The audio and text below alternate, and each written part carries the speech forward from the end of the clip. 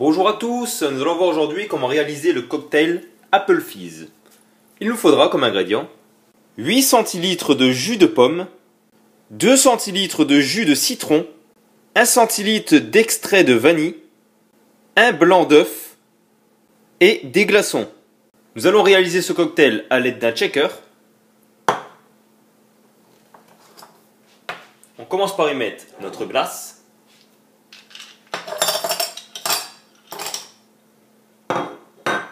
Notre jus de pomme. Notre jus de citron. Notre extrait de vanille. Et notre blanc d'œuf.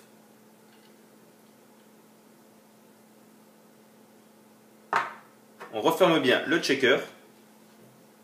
Puis on frappe énergiquement. Voilà, on sert ensuite dans un verre à cocktail.